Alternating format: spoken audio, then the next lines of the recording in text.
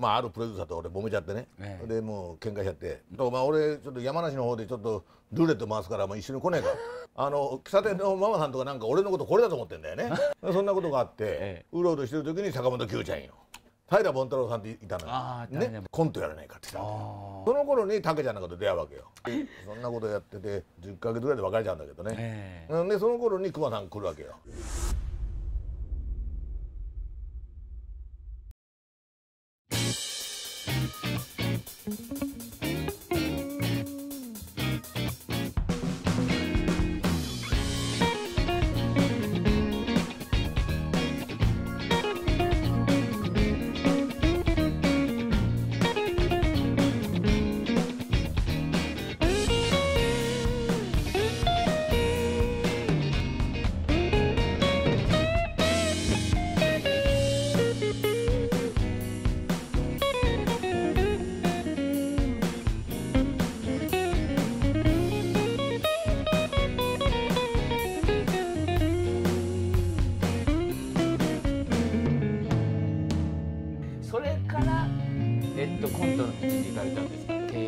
まだまだよ。まだまだ。じゃあそのまだ間を教えてください。それで東映でまあ3年ほどいたのかな、はい、だから4年いるとさ、はい、専属俳優になれるわけよ、うんうんうん、ね、はい、でそれまではフリー部なのよ。フリーっていうのは東映にはいないわけよ。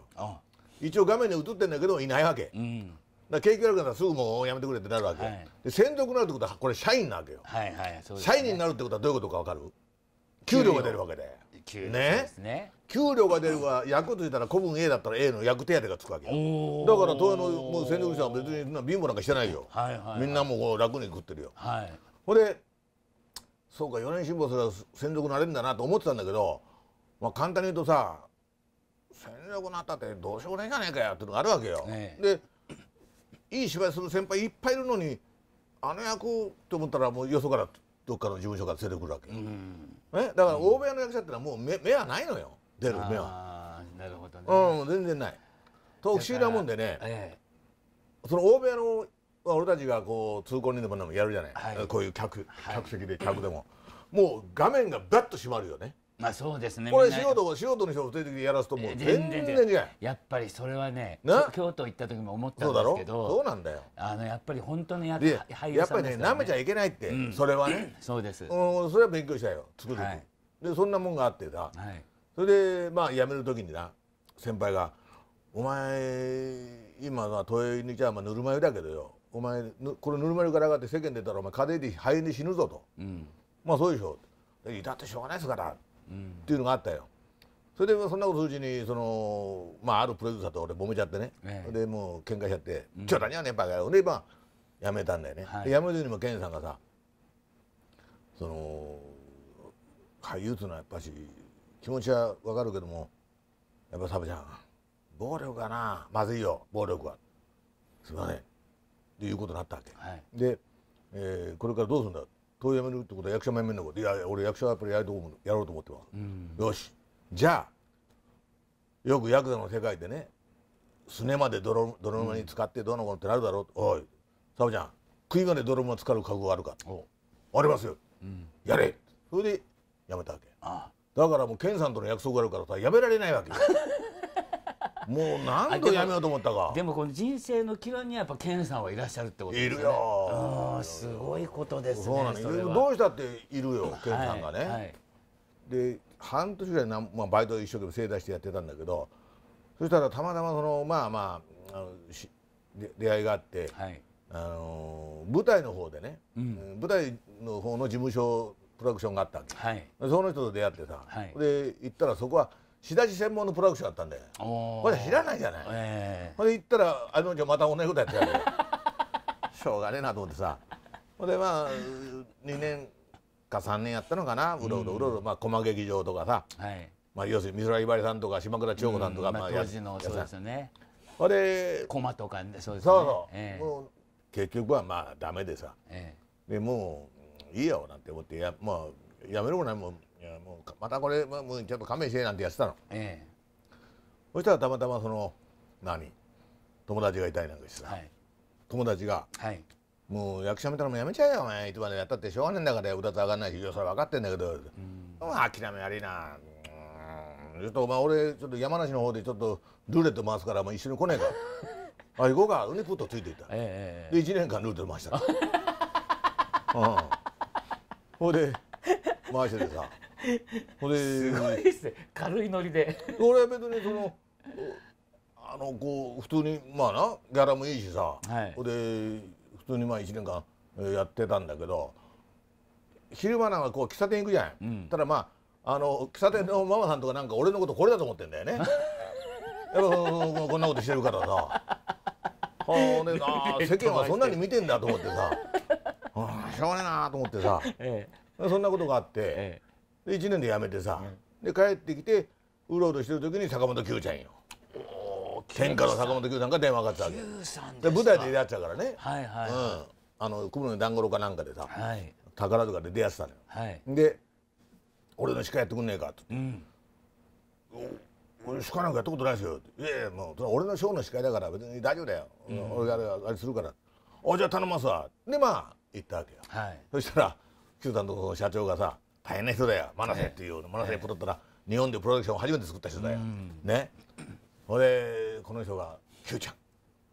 あんなチンピラみたいなの司会なんかできるわけないじゃないか。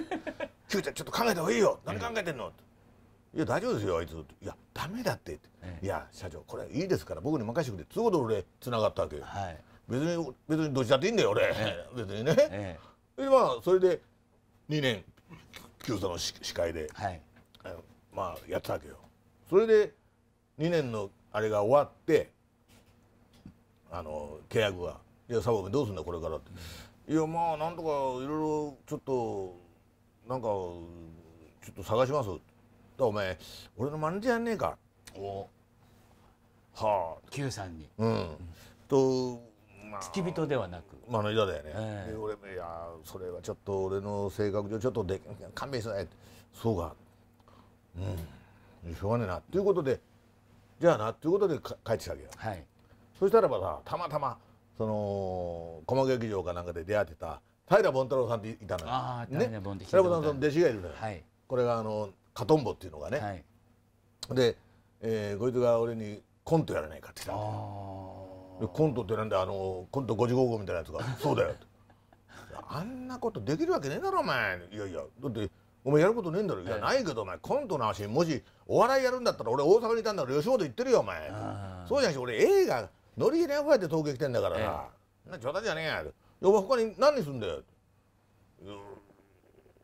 そうだよな考えてたらやることないのよ、ええ、役者ダメだしさ、はい、もうこれどうしようかな、まあ、じゃあ分かったやろうそれでやったのよ、うん、それが最初のコントなのこれコントチャップリンズっていう。あチャップリン。ねこの名前がすごいよ、ね、チャップリンズもうほら照れまくって この社長何考えてんだろうと思って。チャップリンズだとチャップリンズやんなっつって。熊さんですか相手は？違う違う違う違う。また違うそのその最初の。最初のはいはい。ボンタロさんのボンタロさんとはい。それでやって、でやってたんだけどとにかくでその頃に竹ちゃんなんかと出会うわけよ。ああビート竹ちょうどその子竹ちゃんなんかもちょっとこうツービートでクッとこう上向いてる頃はいはい。でその頃もかなり上にいたのがセントルイスなわけうんあセントルイスさんその時代なんだよ。はいはい。でまあ出会ってさ。それでまあ要するにななずっとこの辺で飲んだくれてたよ浅草ですから、ね、ずっと飲んだくれてたね。はい。うん。それで演芸場でよくやってたんですか？演芸場演芸場、はい、で10日間じゃない、はい、10日間の興行でさでまああれ平手5000円かな。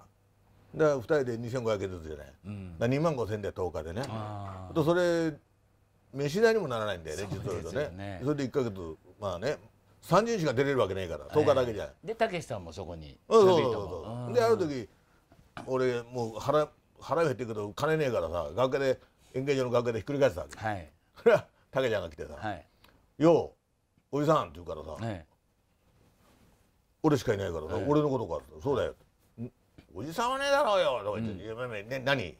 そっち浮いてんだって?」浮いてるかどうか知らないけど、まあだダメだねなんて。ちょっとこんなことしねえか。いやしたいけど俺金ねえしよ。いいから行こうよ。ってそれでその演芸場の近所の,、あの飲み屋行ってさでガンガン行ってたわけ、ええ、腹での酔っ払っちゃってさ、ええ、じゃあな OK 俺まだ通世時あるわけよ、ええ、夜の部が。食べちゃんないから帰っちゃって おおいい調子よ。めちゃくちゃよ。でもで、まあ、始末書の問題でも受けたんじゃないですか逆に。いやいや受けまくったんだよ。そうですよね。めちゃくちゃだから。めちゃめちゃ相棒引っ張られてさ「てめえバカ鼓膜破っちゃうしさ相棒はうわおい来いダメだ相棒ここワンワン言ってるよ。相棒って言い方ねえだろこの野郎もう受けるわけよ。ですよね。受けるってこういうことなのかと思ったんだけど。それが最初で。であとアグリからあいつこれこうね耳のあれやってさ、ええ、で鼓膜がちょっと薄いのや破れたらしいんだよね、ええ、でそんなんでやってたって。もう受けも何もしないよね。うん、それでそんなことやってて。結局はまあ10か月ぐらいで別れちゃうんだけどね、えー、でその頃に熊さん来るわけよ。なるほど。俺と組まねえかっって、はい。いろいろありますけど安心の医療体制で笑顔いっぱいのフロンティアの介護に決めました。介護のことならフロンティア。363の133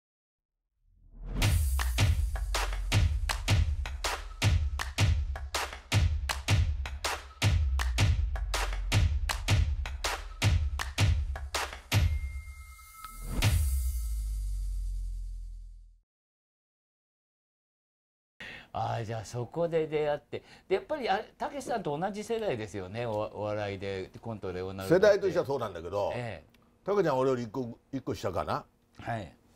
で熊が俺より11上か、うん、なんかそんなんで出会ってさ、はい、でもやってたんだけどね結局もうとにかく熊さんはもう体悪いからさ、えー、もうしょっちゅうダウンするわけよね、えー、でそでダウンするんだけれどもねまあまあ面白いからっつうんでさ、ええ、テレビ局が、えー、呼んでくれたりなんかしててやってたのよ、ええ、そしたら、えー、ある時あのアルタスタジオができたわけ、ね、はい、でこけら落としかなんかやってたらしいんだけどでそこであるその年の冬にあのお笑いヒットパレードみたいなことなんかやったんだよね、うん、その時にあのセントルイスの銭湯がさ、はい、お前もうお前これでもう別れだったらよもうこれであの生放送だしよ別れて行っちゃえはい、そうしようかと。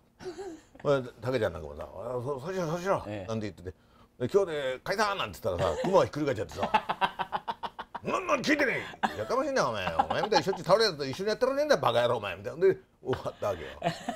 それで別れちゃったで俺はもうでももう熊さんもねもうお前下手したらもう命にかかるからもうちゃんと残念だろうけどもう敵になってちゃんとした方がいいよ、えー、分かった言ってたのよ、ええ、じゃあまあでこうしたわけよ、ええ、で俺はもうあの友達と一緒にさ、ええ、その千葉県のマザー牧場行ってさ、はい、トマトをさ水耕農園で。マザー牧場らしいですね。そうなのよ。1年。そう。え。えっとそれで栽培してたんですか？そうよいや栽培まで行かないのよ。そのまず水通せに土管を入れなきゃいけない ね。それをまずあそっからですか？そっからよ。だーやってたのよ、ええ。うん、2人でやってたのよ、ええ、社長通ると、はい、社長と専務だよねそねとにかくもう日が昇る頃行ってさ、ええ、終わる頃に帰ってくるわけ。もう血まめだらけでさ ヘトヘトでさ。ほんでこうなってたらテレビで熊さんが出てんだよ、ええ、およかったな素直に思ったよ。よしやってねやっぱりな。このぐらいしぶとくなかったらダメだで。思いながらコメントされええ。え？そしたら1週間ぐらいしたら電話かけたの。よ、ええ、そんな誰にも教えてないのに、ええええなんでこんなとこ分かったんだよ、うん、だ熊が言ったことがいいね、ええ、サブちゃん蛇の道は蛇でよ。何が蛇の道？蛇でバカやって。で何なんだよったらさ今度武道館で3万人集めてコント大会やるってわけよ。それが第一次の漫才ブームや。なるほど、うん、えー、そうなの？それ何なんだよって、えー、俺俺俺誘ってんの？俺今敵になってんだよ。バカな言ってんじゃねえよお前って、うん、第一お前何考えてんの？お前相棒いいんじゃねえかよ逃げたのか？今あいつはね、うん、まあ、逃げるわなお前じゃあなってこうなったわけ。それでまあ悪いけど熊さん俺はもうなこうやって普通の仕事してんだからもう勘弁してくれよって断ったわけ、ええ、ただそのプロデューサーがさ、ええ、まだ電話かけてさ、ええ、とにかく何とかしてくれこれだけはって、うん、なんとかしとこっちは仕事なんだよあなた考え 勘弁してくれよ。そう、だよ、ええ、ほでしたらその先輩がさじゃあちょっと休憩して23時帰るかそんでまあ出たわけそれに。出てその打ち上げでさもう銭湯だピあのホあのホーブだ まあタケちゃんとか、ええ、もう帰ってこい帰ってこいって言うわけよ。何その手とかさ、ええ、無理なんだから向かないんだからとか言う。だんだんその気になっちゃってさ。かといってさそんなもんね人人道的に無理じゃない。人道、うん、で俺その時はねでもねさすがに悩んだよ、うん、これどうしようかな。だけどなやっぱそうはいかないとでいやいや悪いけどなやっぱりそんな金いかないからそうかみたいなことでまあ別れたわけ、はい、それで残念くそしょうがねえな縁がなかったなと思いながらまあまあこうな、はい、やろうとしたわけ、はい、したらその先輩の社長、まあ、社長だよ、はい、であ会おうってやったでサブお前帰りてえだろって言うわけ、はい、まあでももう縁切ったしもういいよ。もうそういいいやいや帰れ。何言ってんだよ、いいよ別に。いやいやあのさ正直言うと俺疲れ切っちゃったんだよ。これは天の声だったね。本当に天の声であ俺はこんなちょびっとの運があったなと思ったよ。おあった俺っていう、ええ、え嘘。いやもうよ。疲れ切っちゃったダメだ俺もう無理だったわ。だったらさもっと早く気づけよって言いたけど それはこっちも嬉しいから、ええ、じゃあしょうがないいい？もういいよ。おおそれで戻ったわけよ。だ熊はもうありがとうありがとう言うし、え、俺はいいんだよ裏のこと言うしさ。それからよ。それからトントントントン行き出したら今度は熊が倒れないよ。いややっぱりこう売れて売れてきたら売れてきてね。最近熊はお前元気じゃないか熊さんよ。サブちゃん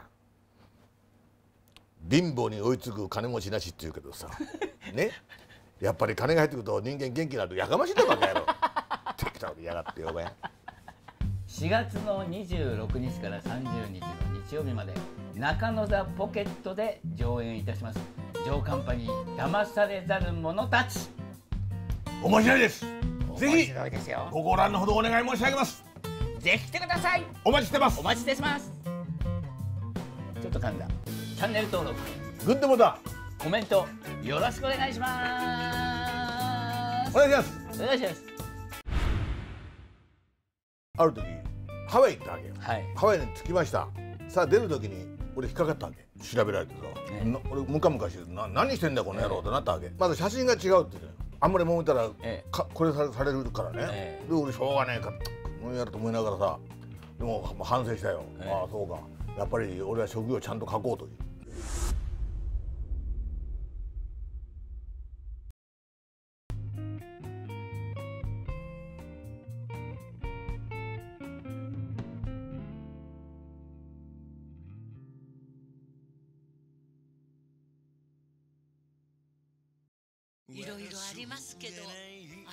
の医療体制で笑顔いっぱいのフロンティアの介護に決めました。363の133